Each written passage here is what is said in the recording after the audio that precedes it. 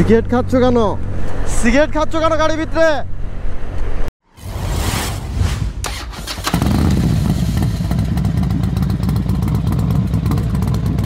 আমার সামনে সৌদি আর একটা বাস আছে। এই বাসটা যাত্রী পরিবহন করে। আর যাত্রী পরিবহনের বাসে সিগারেট খাওয়া, ধূমপান করা টোটালি নিষিদ্ধ। আর সম্ভবত হচ্ছে ওইটা এই বাসের হেল্পার ও হচ্ছে ওইখানে বসে সিগারেট খাচ্ছে। ওই যে ওর হাতে সিগারেট, ওই যে সিগারেট খাচ্ছে, ওই যে সিগারেট, এই যে হেল্পার হ্যাঁ। ও যখন হাত বের করে দিচ্ছে হচ্ছে হেল্পার হেল্পার বসে সিগারেট খাচ্ছে। একটা যাত্রী পরিবহনে বাসে, যেখানে যাত্রী আছে সেই বাসে কীভাবে সিগারেট খাচ্ছে, এটা আসলে বোধগম্য নয়।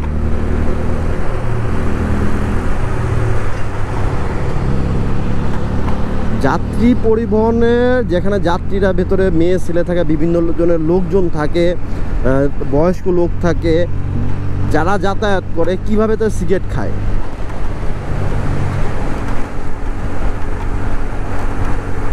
গাড়িটার নাম্বার হচ্ছে ঢাকা মেট্রো ব পনেরো পঁচাত্তর উনসত্তর এই সৌদিয়ার এই গাড়িটা হেল্পার চলন্ত অবস্থায় গাড়ির ভিতরে বসে বসে সিগারেট খাচ্ছে।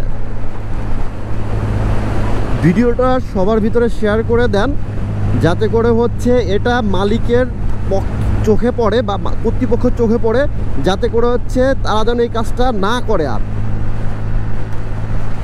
যাত্রী যাত্রীদের ক্ষতির কারণ তো এটা।